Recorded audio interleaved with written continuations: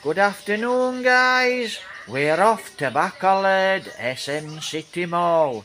Thumbs up, take care, God bless, and to all my YouTube subscribers, I hope you're all having a beautiful day, guys. Thumbs up, and to all my friends on FB, take care, God bless. Hi guys, we're here at the SM City Mall, Bacolod. Well, what an hectic day.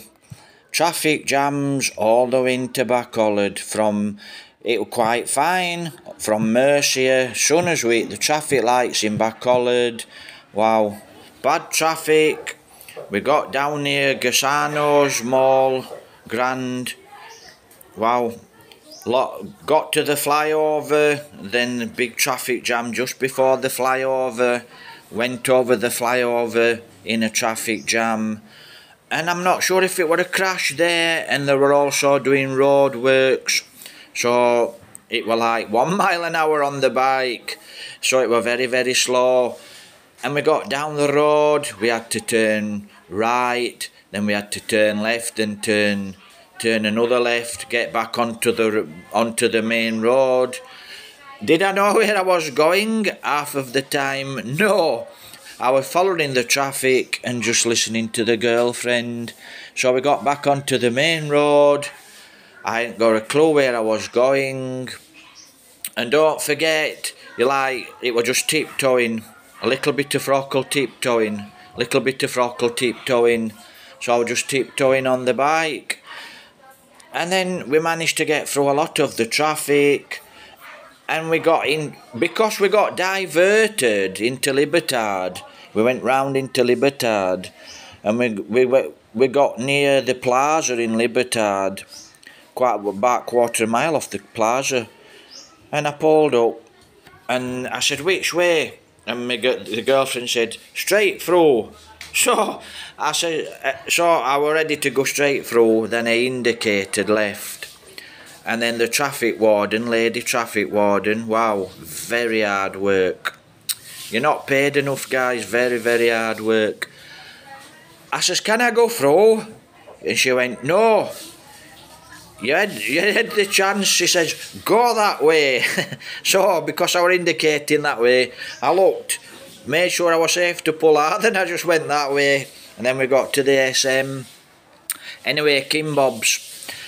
Let's chat about Kim Bob's for a while. We'll get back to the traffic. Crazy traffic.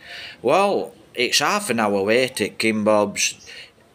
The, she did, the, the girl just said it's half an hour wait, so I mean, they're hard-working girls and boys, ladies and gentlemen, ladies and gentlemen there at Kim Bob's. They do work hard, it's hard work. But the system there's crazy. You're just standing, sitting, waiting for half an hour. An hour sometimes. You're just waiting. There's no number call, so you have to keep getting up, looking, asking, is my number there? Or you have to remember who's in the queue. There's no screen with a number, like in Jollibees. It's crazy. So I think that's the last time we're going to eat here at Kim Bob's. I don't think we'll go back to Kim Bob's. Been four or five times to Kim Bob's, but I don't think I'll go back. Just crazy waiting, there's no screen on the wall, you don't know when your number's up, it's absolutely crazy. So, if you're a foreigner there in Bacolod, I'll give you a nice tip. Chicken Country, go to Chicken Country. Absolutely beautiful food, nice chicken, and it's just at the side of the SM. So don't eat in the SM unless you really want to. I mean, I like to eat in the SM.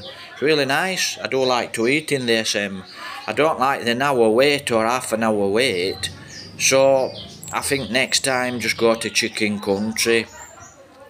So we parked the bike up and I left my keys in the bike, got in the mall, in the SM. I said, where's my keys? I had to go back out to the SM. I left them in the bike.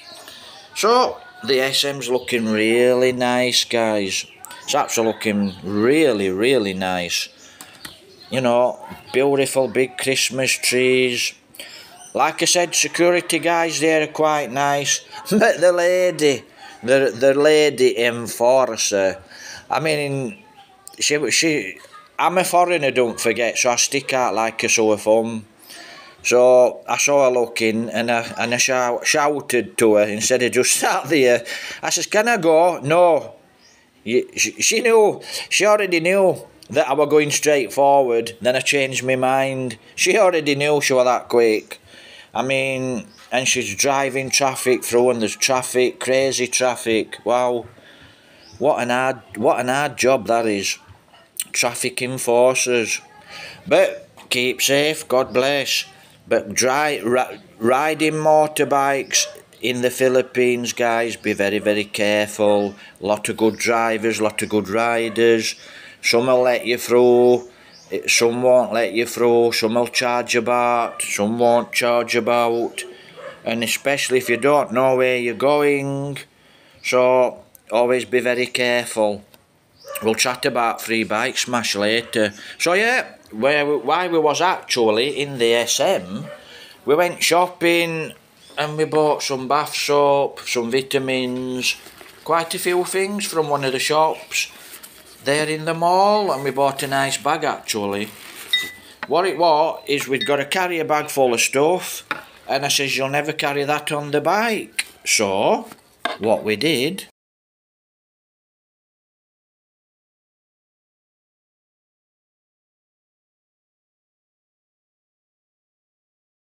So, so I said to the girlfriend, you'll never carry that on the bike. I said, it's too heavy. So we went and bought a nice bag. It was actually on special offer. Uffles, I think. I'll show you the bag. It's a nice bag and it were on special offer. So I think it come to about 500 pesos, 700 pesos. But quite a nice bag. I'll show you the bag. And then we packed the bag full of shopping, so it were really heavy. So without the bag, there's no way we'd have got home because I said to the security guard, which which way out, sir? How do we get out? Which is the best way out?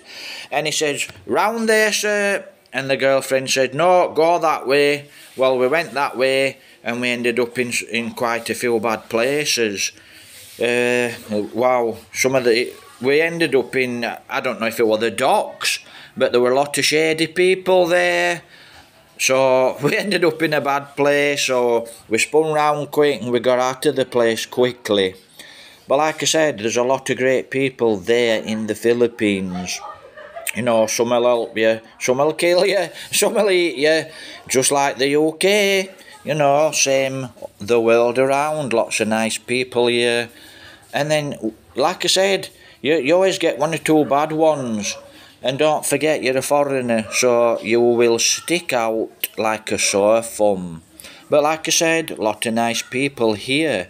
Very helpful, very kind, very humble. One or two not so good, but that's everywhere in the world.